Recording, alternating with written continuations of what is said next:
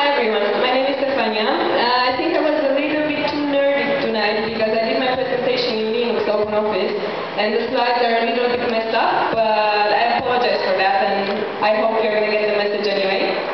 If we can have it on the screen as well. Any images now? Yeah. So, tonight I'm going to talk about open education. So, open education as in open source, open access to educational materials available for free for everyone. So what's important when we talk about open education, the keywords are open educational resources, also known under the acronym of OER. And the term was defined in 2002 by UNESCO. So it has been 10 years since people talk about OER. Next slide, yeah. And they are digital materials used and reused for teaching, learning, and research. What's important to say is also that they could include other sorts of tools or techniques that allow users to gain knowledge. So a very important fact, uh, when we talk about open education, the concepts are open. I would like you to, I would like to tell you that now we live in the O decade. It's open standards, open access, open everything, right? And before 1990, we were living in the E decade, e-learning. Uh, educational, I don't only refer to education as in formal education. I refer to everything that could help someone to develop himself in a personal or professional way. Uh, I would also like to talk about accessibility, property, and creativity. I don't know if you know that copyright rules apply by default. So when you're writing an article or taking a pictures, you hold all the rights on the sharing of that pictures. Um, you are the ones who are responsible to let other people to modify your picture, to use it, or to copy.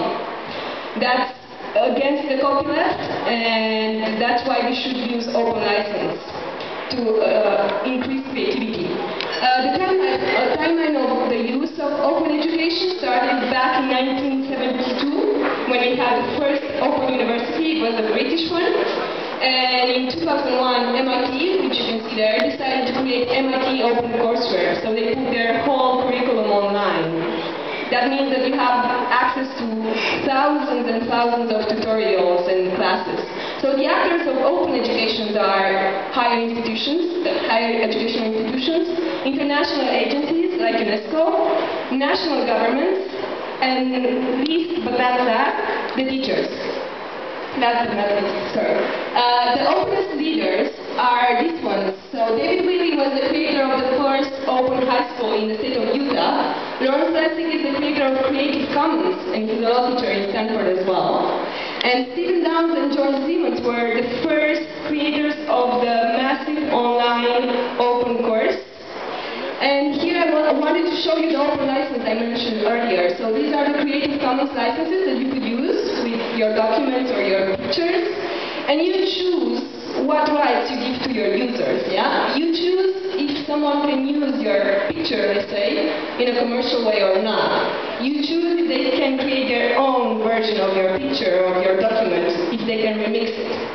So once you did that, you allow the creation of this kind of search engines. This is a search engine from Creative Commons. So basically when you're creating your site or you're creating your class, you can search for pictures that are ready to use in a legal way. I know copyright is not an important thing in Cambodia, but let's hope it will be in the future. And this is a plugin that you could use in Word. Basically, when you're, you're writing your thesis or your article, by the end of the document, you can share what kind of license is associated to your document. I want to give you also some examples open education uh, the OER Commons and the OER Wiki from UNESCO for educators.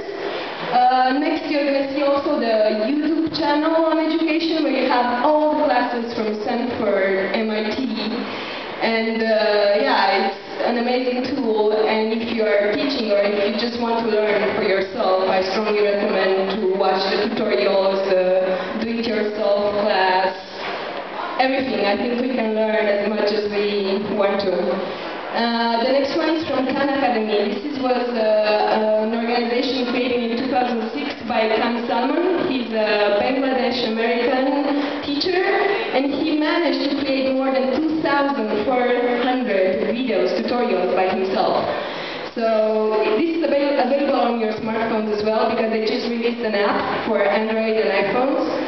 Uh, also, they have tools for teachers. So this is a, a wiki educator created by UNESCO, and teachers can have access here to JavaScript, any type of software, open software that enables them to create multimedia classes. Um, um next slide. Yeah. We can have different sorts of repositories. This one is a specific one in uh, information compute, computing uh, field, but we can have uh, re regional uh, repositories, or we can have local ones. For example, in Cambodia, because I'm teaching here, the main problem is the fact that we don't have uh, access to internet in schools. So what I did, I downloaded the whole Wikipedia and the Khan Academy videos on a terabyte hard drive, and I just created an internet network. So that's what these guys are doing as well. The initiative is called eGranary, and they allow you to have access to more than 13 million resources that are put feed on a 2 terabyte hard drive. And they have agreements with uh, websites to download their content.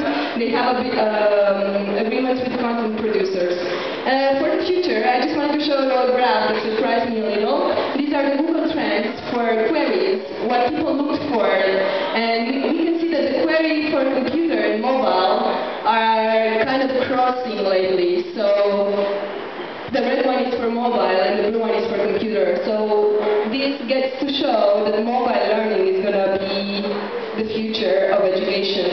People are going to start using their smartphone for everything. At least that's what I think. So, yeah, these were my quick thoughts uh, on education. Please uh, let me know if you want the complete listing of uh, pages I mentioned, and I'm looking forward for your questions.